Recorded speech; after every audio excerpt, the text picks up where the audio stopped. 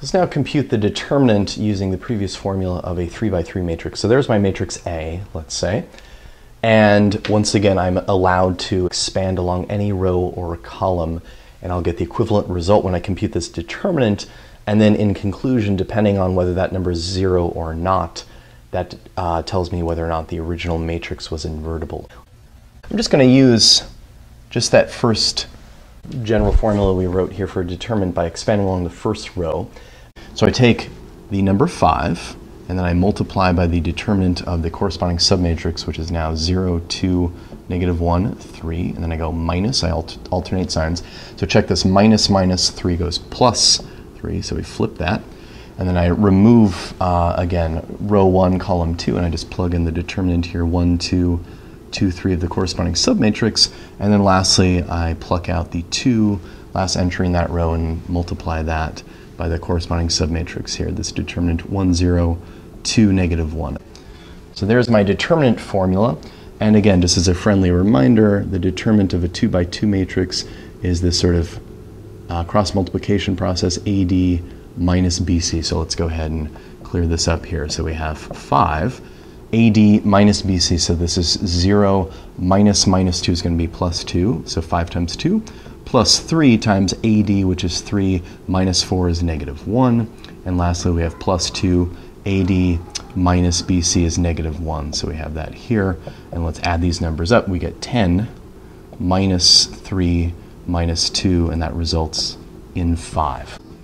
That means that my original matrix A here is invertible. So there's some matrix out there I could find and multiply by that inverse matrix and then produce the identity since we haven't done a column yet, let's expand along column two here and we will compute the determinant that way and we'll see that we also get 5, but we'll have to do a little bit of less work, of course, because of the 0 here. I just want to note, right, we have this checkerboard pattern with the sign, so I'm just going to remind you that for the determinant. We have a negative with that term, a positive, and then a negative. We alternate signs. Let's now compute the determinant of a, one more time, just expanding along, this time column 2. Okay, so I have negative negative 3, which is positive 3, times the determinant of the submatrix. It's the same as it was before, right? So 1, 2, 2, 3, okay? Now I alternate sign plus 0. Okay, I'll just leave this as a placeholder so we can see it. Plus 0, of course, that'll go away. But the submatrix associated with 0, when I remove now column 2 and row 2, is going to be 5, 2, 2, 3. Okay, so that just goes away. And then I go minus, minus, plus 1 when I alternate sign and I multiply by the determinant of the submatrix corresponding with negative 1 here. So I'm going to remove row 3, column 2, and that leaves me with 5, 2, and 1, 2. So let's compute that determinant. So again, I use the formula for a 2 by 2 determinant AD minus BC here, right? So 3 times 1 times 3 AD, 3 minus 4 is negative 1, okay, plus 0, and then plus 1 times 10 minus 2 is going to be 8.